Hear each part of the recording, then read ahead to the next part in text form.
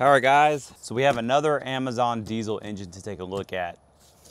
So previously on the channel, we looked at and tested this 10 horse diesel engine. This one is 418 cc's.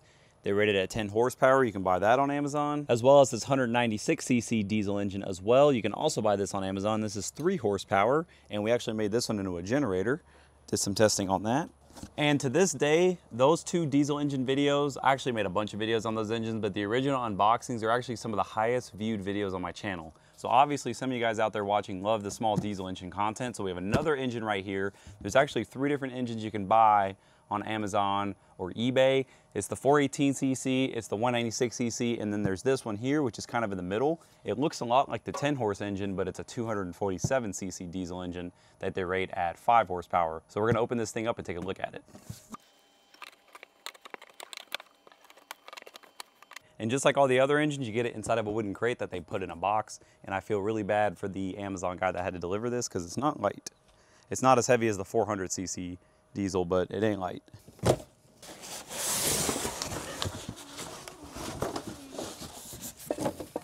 Oh wow, this thing's pretty cool.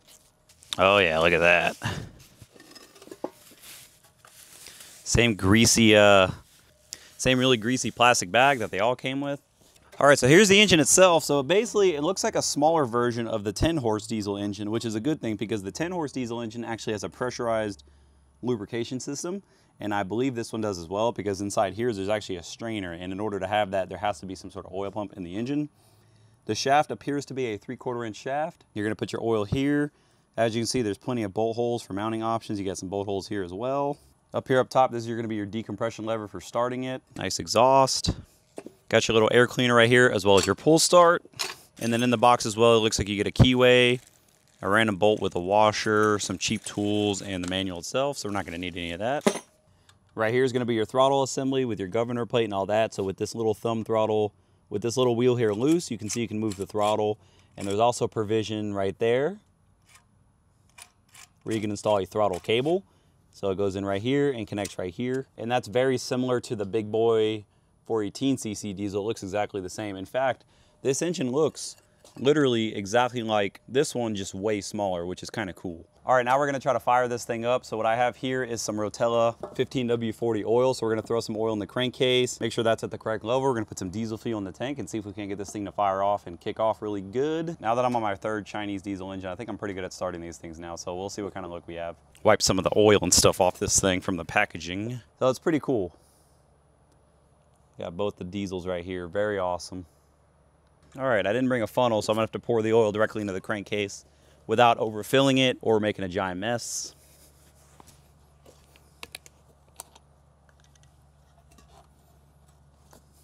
Oops.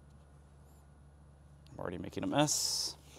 All right, I have the oil just up to the thread, so that should be plenty. All right, chat, so I actually don't have any diesel fuel right now, and I don't feel like going to the gas station. So what I do have is what I think is vegetable oil. So we're gonna go ahead and throw this in the fuel tank. We already got the oil topped off. So we're gonna try to start it on uh, whatever this is. I think it's vegetable oil. All right, there we go. All right, just like the last two previous engines that we bought and started and unboxed on the channel, this thing's not gonna be mounted down because I'm just so excited. I wanna see if this thing's gonna fire up. So we're just gonna try to let it sit on the ground. I'm gonna turn the throttle to about half, like that. That's it, let's see what it does. I'm gonna prime it a few times. Let's see if they'll fire.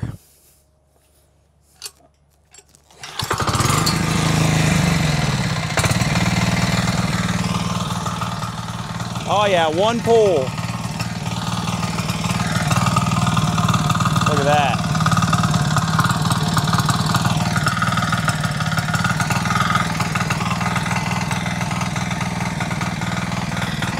The first pull.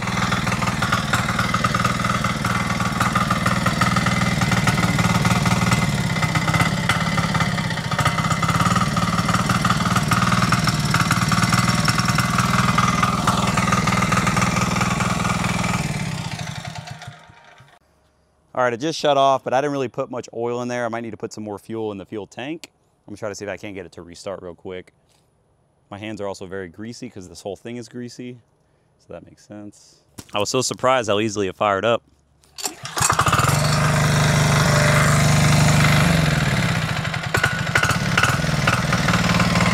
Oh yeah, she runs so good.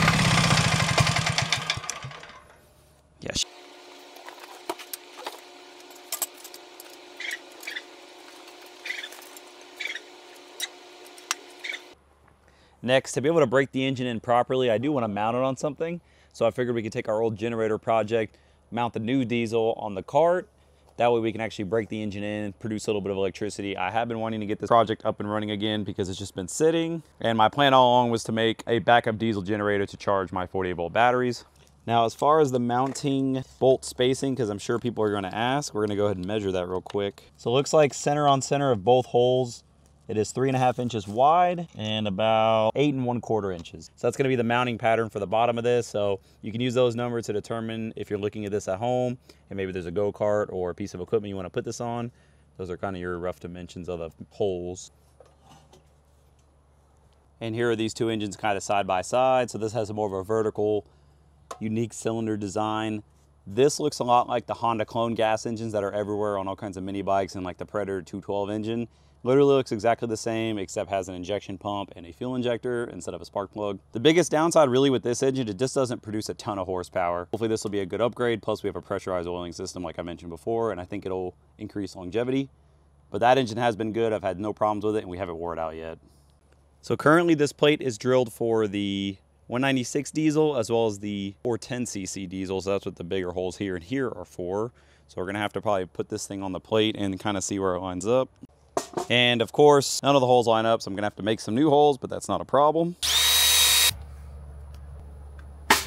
The engine is fully mounted to our little generator cart, and I noticed an issue when I went to mount our pulley. The pulley is actually a standard three quarter inch shaft, However, the engine shaft is actually a metric size, so I believe it is a 25 millimeter or not 25, whatever the equivalent is to three quarter inch, just slightly bigger in millimeters. That's what size the shaft is. So standard three quarter inch engine accessories are not gonna fit this engine. However, we actually had the same issue with this, and I think I showed on video that we ended up just using a flap disc on a grinder and very carefully machining this down to where we could fit a three quarter inch pulley on there. And I got it to fit on there nice and snug. And that also allows us to fit things like clutches and torque converters and things like that. So it is gonna be kind of important that we make the shaft the correct size. So we're gonna go ahead and get this thing started and I'm just gonna take a grinder and very gently clean this off until this fits on there. It's not gonna be a perfect way of doing it and I'm sure all the machinists are gonna be like, whoa, what are you doing? That's no way that's gonna be perfect, but it'll be good enough for what we're doing with it.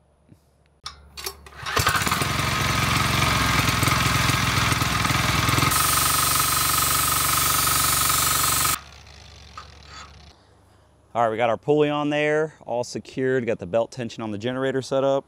Now we're gonna go ahead and start this thing and try to charge my batteries a little bit. So we're already connected to the battery bank. As you guys can see, we have 52.6 volts. Once the voltage is high enough to start charging, we'll get an amperage reading right here and a wattage reading right here. It's gonna be kind of hard to hear me once I start it, so I'm not gonna do too much talking. I'm just gonna show that this thing's making power and just kind of show the engine running.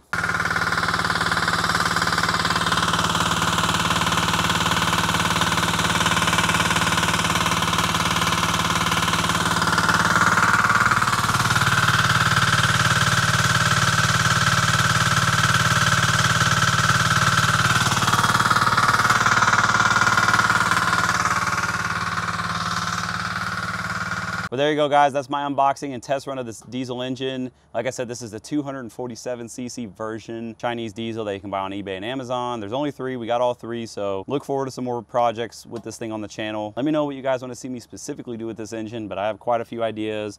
I have a mini bike that I want to diesel swap, a go-kart I want to diesel swap, you know, run all the alternative fuels like we did in the other engine. That's a lot of fun to me. So if you're a diesel head and this excites you, let me know in the comments. Thank you guys so much for checking this out. Let me know what you guys think in the comments and I'll see you on the next one.